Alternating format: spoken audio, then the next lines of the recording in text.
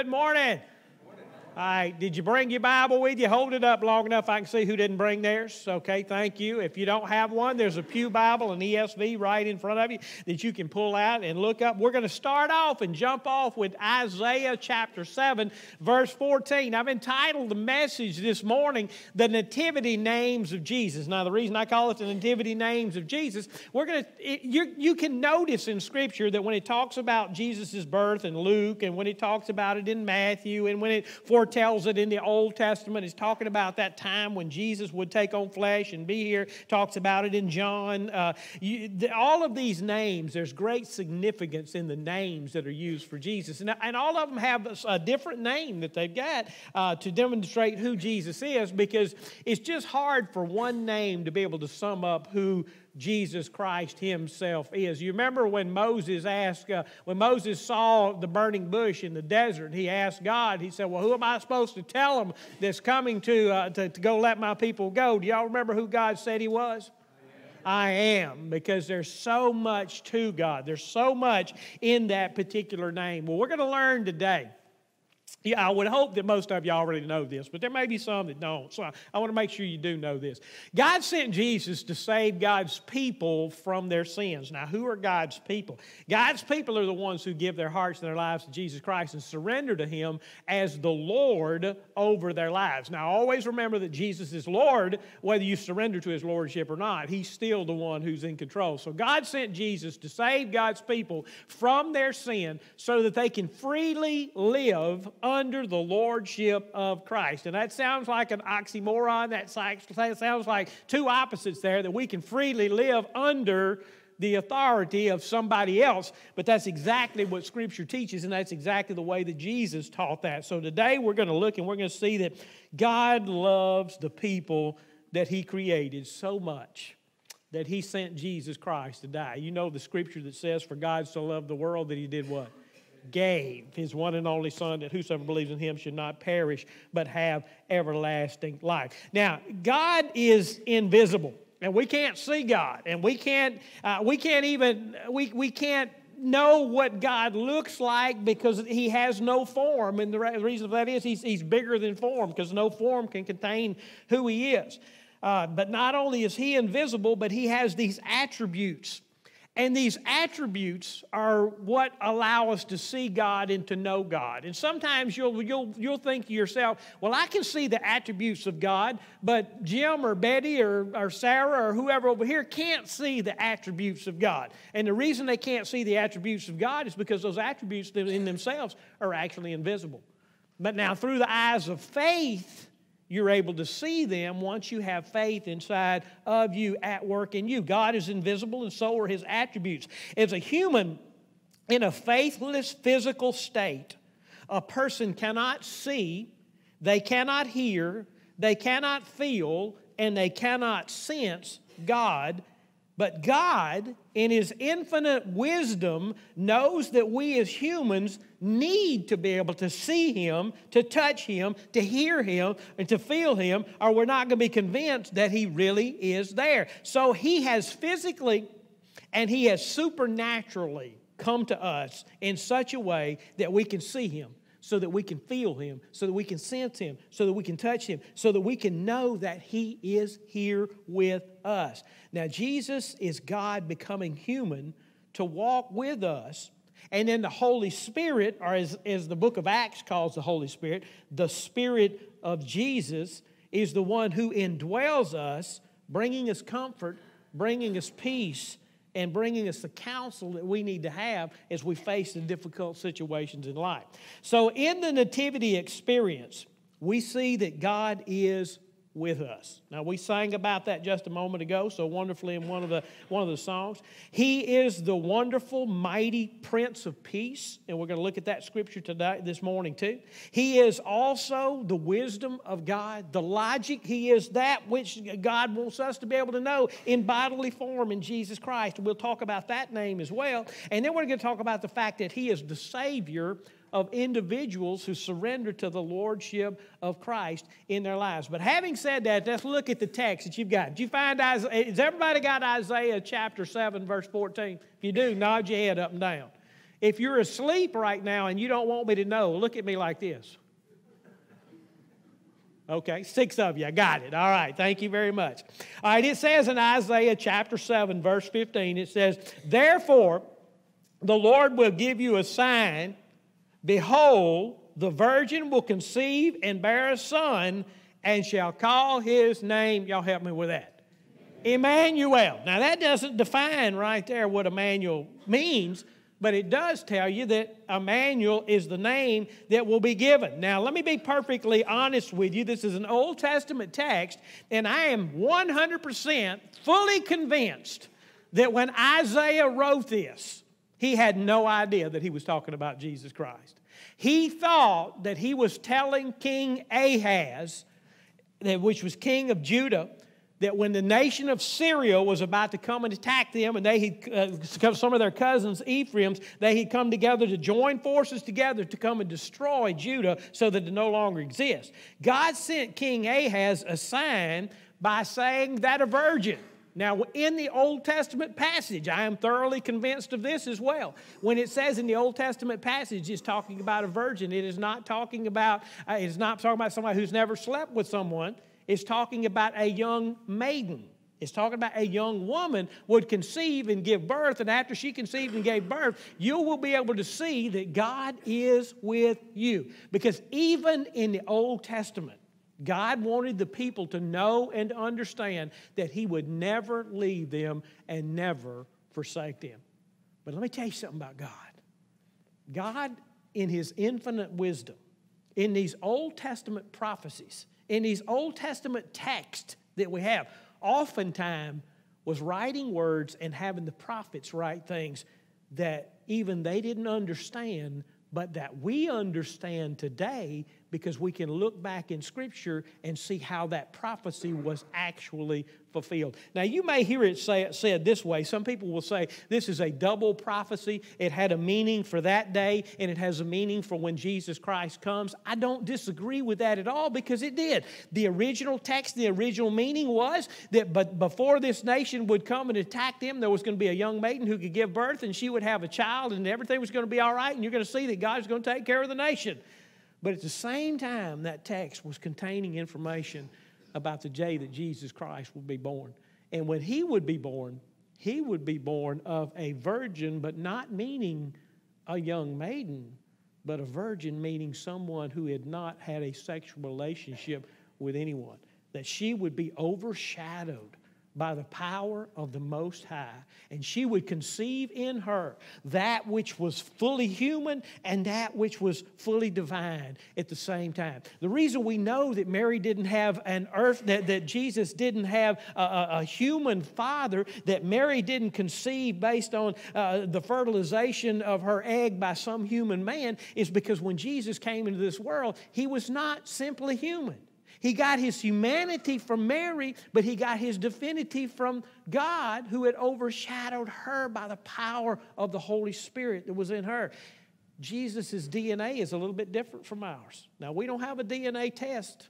I mean, I know everybody out there is trying to find out where they're from and getting your DNA tested and all that kind of stuff. Tynell wants me to get my DNA tested, but I told her I might have some secrets in my past I don't want her to know about.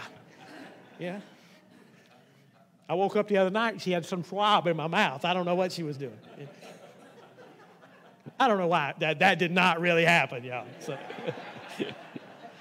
but if y'all don't mind, go tell her that it really did, okay? that, that prophecy set up that Jesus would be the Messiah who would come. Now, now what happens is, is when Jesus is born and then Jesus comes and shares with the disciples, he teaches the disciples and explains to them what's in that prophecy. So that when it is written in the book of Matthew, and if you were to go, have gone to chapter 1, verse 23 of the book of Matthew, Matthew reached back and he grabbed that text and he plugged it in right here. Now, why can Matthew do that? Because Matthew had been told by Jesus that that text had meaning in it that they didn't know was in there from the early days. So he goes back and he quotes it. And when he quotes it, he adds a little bit to the text and puts in there. So he says, Behold, the virgin, meaning someone who has not been with a male, shall conceive and bear a son, and they shall call his name Emmanuel. And then he adds to the text the meaning of the word Emmanuel, so everybody gets it, which means God with us. So that's not in the Old Testament text, but it is in the New Testament text. So which way is it? It's both ways. It just didn't know it in the Old Testament text.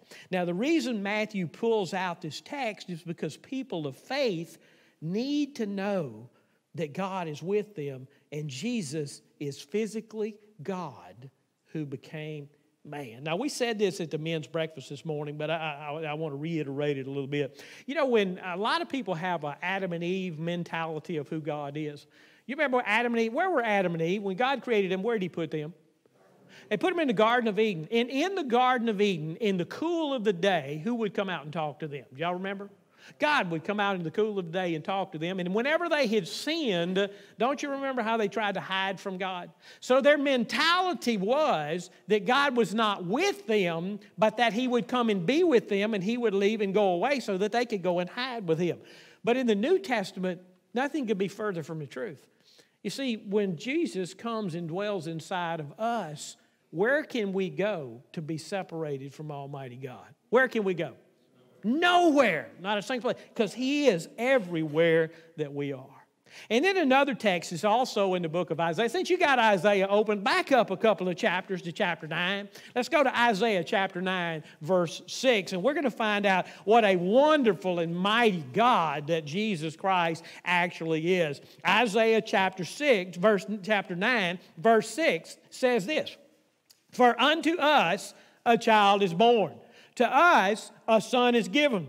The government shall be on his shoulders, and his name shall be called Wonderful Counselor, Mighty God, Everlasting Father, and Prince of Peace.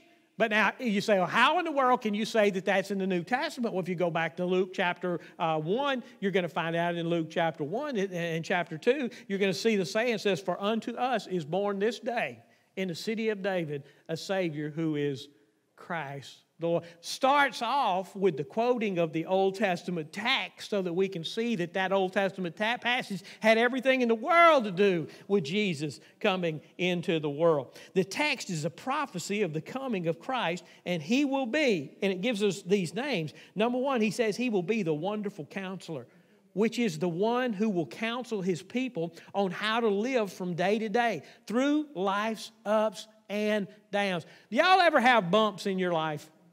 Y'all ever hit some just some tough times where things get really crazy every now and then? We all do. And God knows that, but He's this wonderful counselor that we have. So that when we don't know what to do, we can cry out to God and God will let us know what to do. One of, my, one of the most wonderful things that I know of about God is that through His Word, He gives us such counsel. Many times in my life, many times in your life, you found this to be true too, that you didn't know what you needed to do about a certain given situation that you're facing. So you cried out to God, just like the Old Testament in the Psalms, where they, uh, they I cry out to you, O, o Lord, O Lord, how majestic is your name in all the earth. And they begin, hear my cry, hear my plea. And then we pour our hearts out to God. And then when we don't know what to do after we cry out and pour our hearts out to God, we run to God's Word, we open it up, and we begin reading it. And what God does is He just leads you to the right spot in the Word of God that day so that you can read the thing that you needed to know so that you know how to do with, deal with the situations you're here. That is the counselor who has made sure that you've gotten the information that you need to have so that the peace of God, which transcends understanding, can guard your heart, and your mind, in Christ Jesus as you rest in Him. Now, this is an invisible attribute of God, which a lost person cannot see, but you can see it because you have been there and you've experienced it. If anybody's ever experienced that, would you please say amen? All right, thank you. The next name that he uses is Everlasting Father. Y'all say Everlasting Father. Everlasting Father in that text. Who is the Everlasting Father? He is the one who will have the perfect, the perfect the, the perfect father. Now, uh, on earth, now I know there are probably some in here that think that you had the perfect father. I know that my children think they were raised by a perfect dad. I can say that because neither one of them here to, to, to detest that, okay? Uh, uh, but the, the fact of the matter is, all human fathers fall short of the glory of God. Amen? Amen? And we just can't get it right. But when it comes to God, Everything is perfect. Everything God has ever said, everything He ever did, is exactly the perfect thing that's going to happen. Now, I had a good dad who gave me good advice on numerous occasions and was a pretty good, pretty good father to steer me in the right direction so we could have the conversation we needed to have. But he did one thing that just is, is I'm not over yet. That my dad did one thing to me that I am not over yet that my father did to me. He died. Now I don't know about you. Maybe you still got your father here. There's sometimes I'd still like to pick up the telephone call my daddy and ask him what I need to do. But I can't do that. You know, my kids will pick up the telephone every now and then, call daddy, ask him what daddy thinks about particular situations. Well, see, we have an everlasting Father because we have the wonderful counselor who lives inside of us to counsel us. We can cry out to our everlasting Father and He is going to be there to hear us. And not only is He always going to be there, He is the perfect Father in the fact that He is always ready and able to not only listen, but do whatever needs to be done. And that little babe lying in the manger was one in the same with the Father. He was holding the universe together as Jesus in the flesh but as Jesus, the divine God, He is our Heavenly Father. But all that, that text also tells us that He is the Prince of Peace. Now, what does that mean when he's the Prince of Peace? He is the one who will re- reconcile sinful, rebellious people to a perfect, holy God and move, uh, remove the fear of punishment and wrath. Now, I'm a, I'm a, uh, I have to tear away myself because the only way I know how to preach is to share with you things that have gone through in my own life. And growing up as a young boy, I came to know Jesus Christ as my Lord and Savior somewhere between 11 years, 11 and 12 years old. I remember the day. I just don't remember how old I was when that took place. But for most of my young, most of my my teenage and even my younger adult years, I had this philosophy for God. This is what I really thought because I was kind of living how I wanted to, and I wanted God to be okay with the way that I was living. I envisioned that God was sitting on top of one of the clouds, and He would watch me and if I stepped too far out of line, he'd take a lightning bolt. Y'all know what I'm talking about? That little steady. of course, I never did actually get hit by bolt of lightning. Although one time Mitch tried to shock me in the building over here, but that was a whole other story.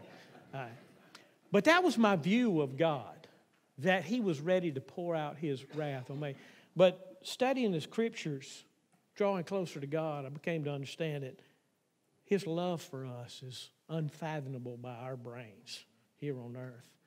And He reconciles us to Himself through the little baby in the manger that died on the cross and took our sin upon Himself so that our sin would never be in the presence of God Almighty because He who knew no sin became sin for us so that the wrath of God could be poured on that, so that I'll never receive a lightning bolt for any of the things that I ever do from God because the anger of God has already been appeased by what Jesus Christ did on the cross. So now, I just do what God says and I just stay at peace with God. If, let, me, let me say this right now. If you're not at peace with God right now, it's not God's, it's not God's fault. You're the one who's not doing what He's calling you to do. As soon as you're reconciled to God, the Prince of Peace will smooth your heart out like it needs to be.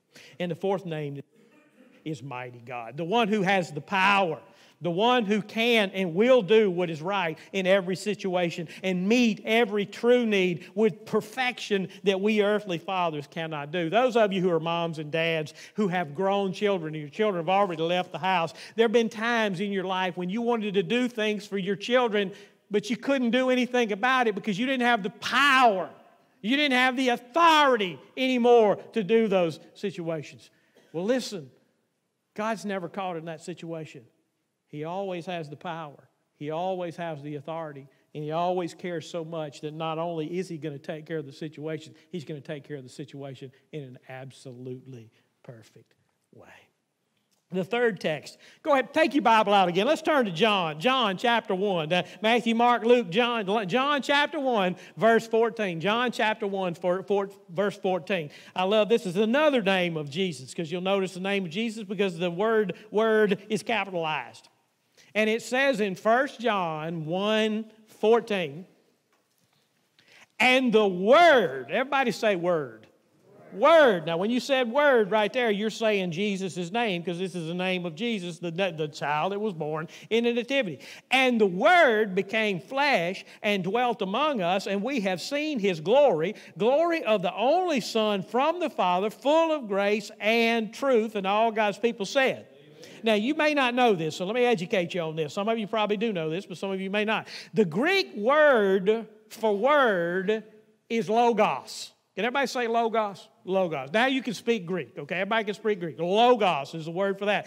And logos is the word that the English word logic comes from. Right? We get the word logic from the word logos, which is the word word, which means Jesus is the word. So therefore, the logic, the word, the wisdom, of everything that ties everything together is contained in the name of Jesus when we use Jesus' name as the Word. If, have any of y'all ever read the book of Proverbs? Book of Proverbs, you get to about chapter 2, chapter 3, chapter 4, and then again chapters 8 and chapter 9, you're going to talk about, you're going to see where it keeps talking about let wisdom guide you. Let, let what is equivalent to the Logos, which is equivalent to the Word, which is the thing that holds the universe together, who is Jesus Christ, who is all the scientific knowledge, who is all the divine knowledge of, who is all the theological knowledge of who God is, is contained in Jesus Christ. Jesus is the wisdom of God lived out in a human life over a 33 year period. And the Old Testament contain, contains is, it, contents, the Old Testament contents are lived out through Jesus, who is the wisdom of God in the form of a man. God did this so that we could see him in Scripture and see him also in flesh and bone. So the whole, all of that Old Testament Scripture where God was talking about who he was comes to life in Jesus Christ because Jesus is the Old Testament. Jesus is the Logos. Jesus is the wisdom. Jesus is the Word of the Old Testament come flesh so that we can stand right beside it, watch it, know it, hear it, touch it, sense it, and feel it. And then the scriptures also remind us that Jesus is the Savior. Since you got your Bible open to John chapter 1, let's back up to Matthew chapter 1 for just a second. Matthew chapter 1, verse 21. A little bitty verse of Scripture right there. John, Matthew chapter 1, verse 21. Talking about Mary. And he says these words Matthew 1, 21. She will bear a son, and you shall call his name what? Jesus, for he will save his people from their sins. The name Jesus means he who will save the people from their sin. Now, the problem is we've all sinned and fall short of God's glory. Uh, we, we have a sin problem. There is nobody in this room, me included, Mitch included, Dustin included, Dita included, every single person in this room, we have a problem with sin because we, we're born into a world with a nature that is so inclined, we have an opportunity to sin. We're going to sin. It says in Romans 3:23, "For all have sinned and fall short of God's glory." In other words, we miss the mark and we don't become who God wants us to be. We can't become it because of our nature is broken. We were in the garden perfect, but in, we came out of the garden. Everything since then has been broken. It also says in Romans 6:23 to compound the problem that we have, "For the wages of sin is death, but the free gift of God is eternal life through Jesus Christ our Lord." So the wages of sin is death, and that's death separated from the body. Not only do we physically die, but then we, we, we awaken and we're resurrected from the grave and we'll be cast into the lake of fire where we spend an eternity uh, separated from God and tormented in the flame, as the man uh, in, in Luke talks about. And in Isaiah chapter 64, verse 6 makes it even more clear. He says, We have all become like one who is unclean, and all of our righteous deeds are like a polluted garment. All of our righteousness is like filthy rags before God, another translation says. Because no matter what we try to do, we do it with the wrong motives all the time. So we keep falling short. The problem is, we got to be we got to be holy like Jesus is to make it into heaven, but we can't make it into heaven like Jesus is be Jesus because we're not Jesus and we can't be holy. God created a problem that we can't fix. That, my friend, is why the G- baby Jesus was placed in the manger on Christmas. So that he could come and take our sin upon himself. And 33 years later, he could be nailed to the cross so that he could take and wash away our sins. See, the solution to the problem is found in John 3:16. For God so loved the world that he gave his one and only Son, that whosoever believes in him should not perish, but have everlasting life. The solution is found in Romans chapter 5, verse 8, where it says, But God showed his love for us, and while we were yet sinners, Christ died for us. The solution is found in 2 Corinthians chapter 5, verse 21, where it says, For our sake he made him to be sin who knew no sin, so that in him we might become become the righteousness of God. The great exchange. We have to be righteous to go to heaven. The only way our righteousness is if Jesus Christ gives us his righteousness because our righteousness is no more than filthy rags. Does it make sense? Galatians 3:13 explains it this way. Christ redeemed us from the curse of the law by becoming a curse for us. For it is written, cursed is anyone who is hung on a tree. Jesus, the curse on the tree was your sin. It was my sin. So he takes our curse away so they can be removed from us. The little babe lying in a manger was not a human that God used to save humanity. He was God becoming human so that he could come and take away our sins. This is awesome. That's why we can call him Christ the Lord. Everybody say Christ the Lord. Luke chapter 22, verse 11, um, excuse me, Luke chapter 2, verse 11, we see another name given to Jesus in the scriptures in the Nativity where he explains Jesus is this. He says, For unto us is born this day in the city, uh, in the city of David a Savior who is Christ the Lord. Now, there's only th- three, three parts to that name Christ the Lord. Everybody say that with me. Christ the Lord. Okay, so what does Christ mean? What does thee mean? What does Lord mean? We got to ask ourselves those questions. Number one, Christ means the Messiah, which means he is the anointed one. In other words, he is the one who was chosen by God. He's the one who is anointed not only uh, here on earth, but he is anointed with divinity from God. Like a king, he was anointed with oil and, and pronounced king. Jesus is the anointed king over the kingdom of God. And he is the kingdom of, he's the king over the kingdom of God, of which there will be no end to his kingdom, because there will, can be no end to his kingdom. Nations come and fall. You know, nobody ever thought that the Roman Empire would fall, but it did. Nobody ever thought that the USSR would fall, but it did. Nobody thought that the United States of America would ever fall. But if we tarry long enough before Jesus Christ comes back, it will fall. Because every human earthly government, sooner or later, ceases to exist. Not that way with the kingdom of God. Why? Is because they have a perfect king, because they have a perfect leader, and he is the Messiah, who is the Christ, who has been anointed by God into the position over his authority. In fact, every earthly government will fall, and you've been praying for it.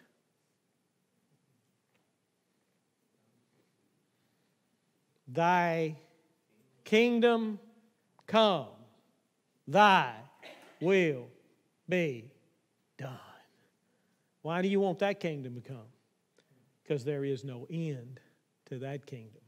And everything that's ever done in that kingdom is always done perfectly. Jesus, sitting at the right hand of God, leaves his kingdom up there, comes down here to be anointed king to be anointed the Messiah so that he can uh, take away our sins. But not only is he Christ, but he is thee. Now, everybody say thee. Let me ask you this question. I'm not a rocket scientist. I scored a four on my ACT test in English the first time I took it. Okay? All right. Is there a difference between the word thee and a? Okay, right. here's, here's my deep, this shows my deep intellect right here. You know what the definition of thee is? Thee. The definition of thee is thee. And then you have a. You know what the definition of a is? A. I can have a car, but I can have the Christ. Now, what's the difference in an A car and the Christ? A car, I can have a Chevrolet, I can have a Ford, I can have a Toyota, I can have a Nissan, I can have all these different because there's tons and tons of cars. But Jesus is the Lord. I could take you into English and say that's pointing of the article, meaning that there's only one single one of those as opposed to the A, which is the one of many.